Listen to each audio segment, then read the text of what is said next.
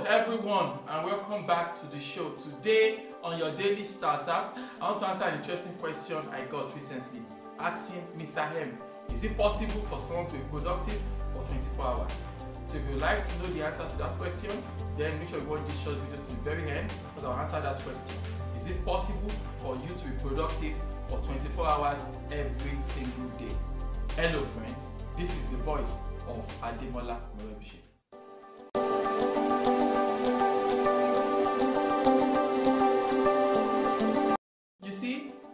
People that know me know that I am very, very interested in maximizing my productivity. Like, I believe that, you know, we can get so much done, right? We just need to be strategic about it rather than just, you know, go with the flow of things. I believe that there are ways you can consciously set up yourself in order for you to have a more productive day, in order for you to increase your productivity output to really, really high levels, right? So recently someone asked me an interesting question. Said, Mr. Hem, is it possible to be productive for 24 hours a day? Furthermore, he said they actually tried to, you know, come up with, uh, you know, a, a, a schedule that involves him, you know, his schedule for 24 hours, and that was really interesting. So here's the thing, all right. So if you ask me, is it possible for you to be productive 24 hours a day? My answer would be yes. It is possible for you to be productive for 24 hours every single day. First and foremost, I need to point this out that when we say productivity, the difference between productivity and activity or just being busy is the objective. So if you see me sleeping, for example, you can't conclude that I am being lazy and I'm not being productive. The real question is what is the objective here? okay, so I mean, productivity starts with you having an objective. When you are busy without an objective, then you are just engaged in various activities, but there's no overall objective, there's no clearly spelled out goal. If that is the case, then you are not being productive. So, yes, it is possible for you to be productive for 24 hours every single day. I'm going to explain to that to you shortly. So, first things first, right? If you're asking me or you're trying to, you know, unlock maximum productivity, you're trying to get to that level whereby you can be productive every single day of the week, trying to get to that point whereby you can be productive for 24 hours every single day, the first question would be Are you in control? Are you in charge of your time? Alright? And I don't mean that as an insult or a slap to anybody's face. No, not really. Right? For example, if you are working somewhere, you are working for someone, for example, it might be hard for you to plan the 24 hours, you know, productivity cycle, right? I mean, because literally you know they own your time actually. So i mean if i work for you you own my time. So i can't make my schedules independent of you. And that goes for you to my younger audience right? If you are living with your parents for example please understand that they own your time okay? It might not sound fair it might not sound palatable but that's the truth okay? So i mean your productivity will always be impacted, right? Negatively impacted by the people who have authority, people who have a say, people who have control over your own time.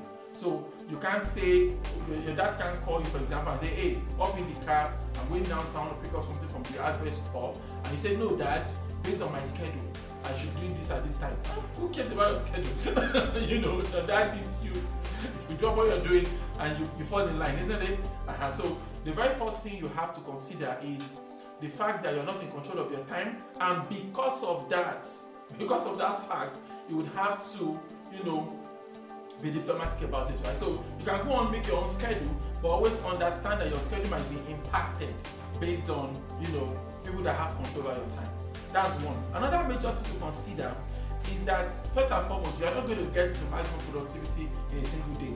Forget about that. It's not going to happen overnight. Okay? I mean, the journey from ordinary to phenomenal is going to take a while, right? You're going to go from very, very bad to decent, from decent, fair, okay, good, very good, then excellent, then awesome. You know, wow. You know, so it's not going to your productivity will not. You're not going to record a productivity boost overnight. You have to understand that. So give yourself permission to slowly evolve into the most productive version of yourself. I'm gonna say that again, right? Give yourself permission to evolve. Give yourself permission to evolve. into the most creative and productive version of yourself. You're not going to become Mr. Productivity overnight. It's going to happen over time. So right now you set your you set your agenda, you set your schedule, and you realize you are struggling with it.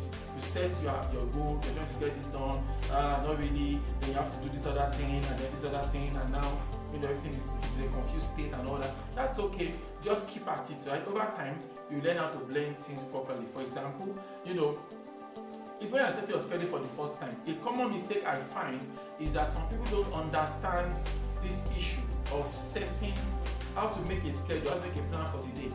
So you find out that they put some really high energy tasks close to each other. So after doing the first two tasks, you are too tired, you are gassed out, you are you know, you, you, you, worn out yourself already, so you have to rest. Right? so I mean, you've learned that. So the next time you are putting together your schedule, you realize, okay, after these two things, I shouldn't put this one here. Let me put it later in the day, for example. You know what I'm trying to say? So when you think about it this way, now you realize that you have to balance your energy. In fact, I read some research the other day that suggested that the average human being cannot do more than, cannot, you know, have more than six hours of maximum creative work every day. That hard work that requires your creative input, you can't do more than six hours of that every single day. So I mean, you have to factor that into your plans, isn't it? I mean, after you've done some high level work, maybe as a computer programmer, finish doing some programming, as an accountant, finish balancing some books, so you, you, you, you drained out, you might want to fix a, a new an activity there that will require brain power, maybe washing the dishes or maybe doing the dishes or some physical tasks that require much brain power. That might be what you want to slot in after you've slotted in, you know, what you want to do with respect to the higher tasks of the day. So anything after that, in the and things like that. So these are ways by which you can maximize your time, maximize your productivity, and that can really, help you. And now you might be thinking, Mr. Hem, 24 hours, won't I sleep? Well, now this is why I want to break it down to you, okay? Productivity also requires time for resting actually. You have to learn how to take a break. Taking a break is part of the productive process actually. So yes, while you are sleeping, you are being productive because if you don't take that six hours, four hours, or whatever hours you need to rest uh, your body and all that, you're going to break down. And breaking down is not productive. So adding a six hour rest after a good day's work is good for is good for you, it's good for business, it's part of being productive. So yes, productivity includes the time you spend sleeping. So hope you've gotten some good ideas from this video. If you have questions, drop it below. If you have suggestions for me on videos you want to talk about, just drop your comments as well. Why don't you repeat after me this morning? Say, God daily loads me with benefits. I am bold and strong. Every day, in every way, I am getting better and better. My name is Ademola Morebishe. Thank you so much for taking our time to check out this video. Remember, you can lead a formidable life. Yes, you. Have a great day.